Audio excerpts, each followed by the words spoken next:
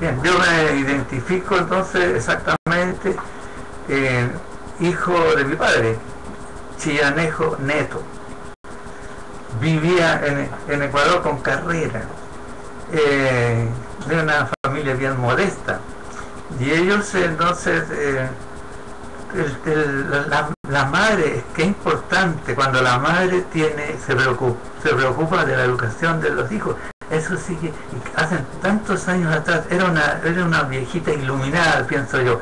Mandó al niño a la escuela industrial de, Chillán. Después de la escuela industrial se consiguieron una beca para ir a la, escuela de artes y oficios, que era lo que preparaba más a los, egresados en, distintas técnicas, pero en el caso de él era la electricidad.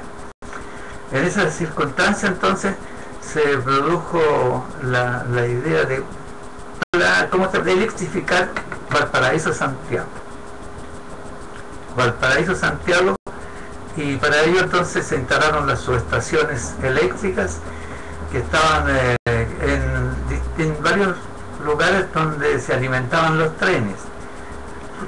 Eh, eh, la estación principal estaba en Santiago, en la estación central, esta era la central de tracción y maestranza y luego venían las subestaciones eléctricas en Quilicura, en Yayay, en Rungue, en San Pedro y en Viña del Mar. Los, los eh, ¿cómo se llama? Antes, antes que de, esta instalación, que ya, ya, ya estaban listas, se seleccionaron a 11 funcionarios profesionales para que fueran a especializarse en las máquinas, en las máquinas que iban a traccionar los trenes. Y estuvieron durante un año. Y ya, ya entonces volvieron muy optimistas y se les distribuyó entonces en las distintas subestaciones que había.